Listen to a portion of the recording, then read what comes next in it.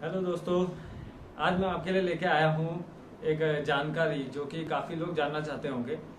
तो मैं B S four और बी एस सिक्स क्या होता है, उसके बारे में एक इन्फॉर्मेशन लाया हूँ छोटी सी। तो काफ़ी सारे लोग देख रहे होंगे आजकल की बी एस सिक्स गाड़ी के आ रही हैं ज़्यादातर आजकल मार्केट में। और आपने देखा होगा कि बी एस फोर पहले आया था, अभी आपने देखा होगा कि बी एस फोर बंद हो गया है और बी एस सिक्स अभी चल रहा है। तो ये B S four B S six ये सब होता क्या है, मैं आप आज इसको थोड़ी सी डिटेल आपके लिए लेके आया हूँ। तो चलिए शुरू करते हैं दोस्तों अगर आप यह चैनल पहली बार देख रहे हैं तो लाल कलर से सब्सक्राइब लिखा होगा उसको क्लिक कर लीजिए। साथ ही साथ बेल आइकन के बटन को भी दबा दीजिए ताकि वीडियो सबसे पहले आपको मिल सके। और इस वीडियो को कर दीजिए लाइक और कमेंट भी करिए और शेयर करिए अपने दोस्तों के साथ। तो आपने देखा होगा कि B S two B S three B S four और बी एस सिक्स यहाँ पर अभी तक आ चुका है हमारे भारत में। तो इसमें सब में आपने देखा होगा कि बी एस जो है वो कॉमन है। तो बी एस क्या होता है मैं आपको बताता हूँ। बी एस मतलब होता है कि भारत स्टेज तो भारत स्टेज एमिशन स्टैंडर्ड एक ये होता है हमारे भारत के लिए। तो मैं आपके लिए लेके आया हूँ एक छोटी सी पीपीटी जो कि मैं आपको स्क्रीन में भी शेयर करता रहूँगा। तो भारत स्टेज एमिशन स्टैंडर्ड को सन 2000 में इंट्रोड्यूस किया गया था। ये वो एमिशन स्टैंडर्ड है जिसे कि केंद्र सरकार द्वारा सेटअप किया गया है इंजन से निकलने वाले पॉल्यूटेंट को नियंत्रण करने के लिए। तो अब आप सब लोग सोच रहे होंगे कि भारत एमिशन स्टैंडर्ड है क्या चीज़ और ये कहाँ से आया हुआ है? तो मैं इसकी थोड़ी सी डिटेल आपको बताता हूँ। तो यूरो नॉर्म्स के हिसाब से यानों को पॉल्यूटेंट छोड़ने की एक मैक्सिमम लिमिट होनी चाहिए। पॉल्यूटेंट जैसे टू नाइट्रोजन ऑक्साइड सल्फ़र और सस्पेंडेड पर्टिकुलर मैटर यदि कोई यान अपने निर्धारित लिमिट से ज़्यादा पॉल्यूटेंट त्याग करता है तो उसे यूरोप में नहीं बेचा जा सकता है। तो ये यूरो नोम्स होता है। तो यूरो नोम्स जिसे कि भारत स्टेज ने अपनाया है। तो हमारे देश में हम यूरो नोम्स को भारत स्टेज नॉर्म से, के नाम से फॉलो करते हैं। तो भारत स्टेज नाम नॉर्म्स के नाम से हम इसे फॉलो कर रहे हैं। तो भारत बी एस करके ये हमारे कंपनी में आया हुआ है। जिसे धीरे धीरे हम अपने देश के सभी शहरों में इम्प्लीमेंट कर रहे हैं। हमने देखा कि हमने रेफरेंस जो है, वो यूरो नॉर्म से लिया है। तो यूरो नॉर्म्स जो यूरोप में चलता है, वो वही अब हमारे भारत में भी आ चुका है। तो वो भारत स्टेज नाम से हम उसे फॉलो कर रहे हैं। तो अब मैं आपको बताता हूँ कि कैसे हमने रेफरेंस लिया है यूरो नॉर्म से और अपने बी एस फोर को कैसे रेफरेंस लिया है और कब कब ये आया हुआ है। तो चलिए देखते हैं। तो एमिशन स्टैंडर्ड इंडिया में जब आया तो 2000 में इंट्रोड्यूस किया गया था। और जो कि रेफरेंस हमने लिया यूरो वन से। तो उसके बाद बी एस टू आया, जो कि यूरो टू से हमने रेफरेंस लिया था और 2005 में भारत में इंट्रोड्यूस किया गया।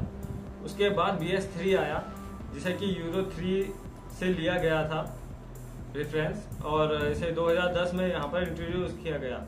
उसके बाद बी एस फोर आया, जो कि यूरो फोर से लिया गया और 2017 में भारत में इंट्रोड्यूस किया गया। फिर बी एस फाइव आना था यहाँ पर भारत में, लेकिन यूरो फाइव से उसे रेफरेंस लिया था, लेकिन कई, कुछ कारण की वजह से उसे स्किप किया गया था। और यहाँ पर सीधा बी एस सिक्स आ गया।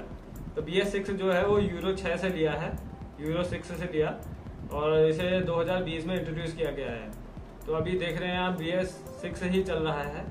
और बी एस फाइव जो है वो स्किप कर दिया था बीच में बी एस फोर के बाद सीधा बी एस सिक्स आया है बी एस फाइव नहीं आया है आप सभी लोगों को इस चीज़ की जानकारी होगी या आप लोगों ने सुना ही नहीं होगा कि बी एस फाइव आया तो अभी मैं आपको बताता हूँ कि बी एस फाइव क्यों स्किप किया है तो चौथा नॉर्म्स बी एस फोर दो हज़ार सत्रह में पेश किया गया था और बी एस थ्री और बी एस फोर की जब शुरुआत हुई थी तो उनके बीच में देरी हो गई थी इस वजह से बी एस फाइव के मानदंडों के बजाय सीधा बी एस सिक्स का उत्सर्जन लाना पड़ा।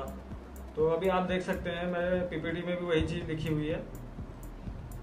तो बी एस थ्री और बी एस फोर जब आए थे, उनकी शुरुआत थोड़ी सी देर में हो गई थी, जिस वजह से हम लोगों को बी एस फाइव स्किप करना पड़ा और सीधा बी एस सिक्स ही लाना पड़ा सरकार को।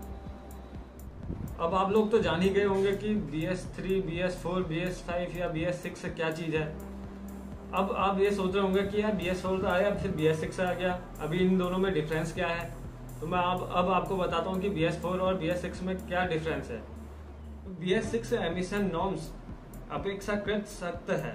मतलब कि बी एस फोर से बी एस सिक्स थोड़ा सख्त है। बी एस फोर की तुलना में बी एस सिक्स में नाइट्रोजन ऑक्साइड का लेवल पेट्रोल इंजन के लिए 25 परसेंट किया गया है। और डीजल इंजन की बात करें तो इसके लिए 68 परसेंट कम है।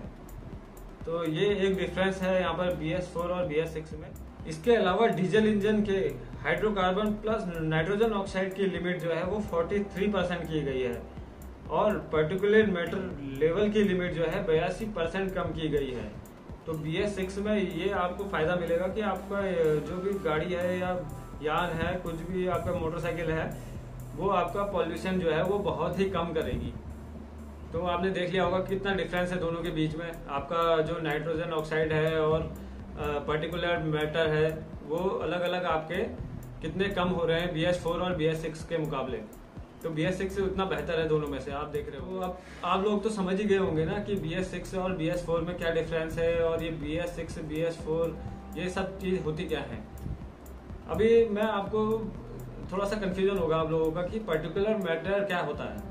तो थोड़ा सा मैं उसके बारे में बता देता हूँ आपको। तो दोस्तों पर्टिकुलेट मैटर जो होते हैं, वो ऐसे कार्बन वाले गैसेस होते हैं, जो कि हमारे यहाँ पर एटमोसफेयर में पॉल्यूशन फैलाते हैं बहुत ज़्यादा, और जिनसे एक तरह की बीमारी पैदा कर सकते हैं। तो ऐसी कुछ गैसेस होती हैं तो वो भी इंजन से निकलती हैं तो उसे पर्टिकुलेट मैटर कहा जाता है। तो दोस्तों, क्या आप लोगों को पता है, हमारे इंडिया में सबसे पहले two wheeler B S six कौन सा आया था? तो नहीं पता है तो मैं आपको बता देता हूँ। होंडा एक्टिवा 125 सबसे पहली गाड़ी है टू व्हीलर में, जो कि बी एस सिक्स यहाँ पर आई है, भारत में। और अगर हम फोर व्हीलर की बात करते हैं तो मर्सिडीज की बेंज ई टू हंड्रेड ऐसी गाड़ी है फोर व्हीलर में, जो कि पहली गाड़ी आई जिसका इंजन बी एस सिक्स था। तो ये दोनों चीज़ मैंने आपको बता दी दोस्तों। तो ये जानकारी कैसी लगी आप लोगों को, आप ज़रूर से मुझे कमेंट करके बताइए। और यही सब था B S four B S six और जो भी यहाँ पर आप लोग डिफरेंस जानना चाहते थे या फिर B S four B S six क्या चीज़ है वो जानना चाहते थे, उसमें यही सब मैं जानकारी लेके आया था एक छोटी सी। तो चैनल को ज़रूर से सब्सक्राइब कर दीजिए और शेयर करिए अपने दोस्तों के साथ। दोस्तों, अगर आपने इस चैनल को सब्सक्राइब और लाइक और शेयर नहीं किया है तो तुरंत करिए और बेल आइकन का बटन तुरंत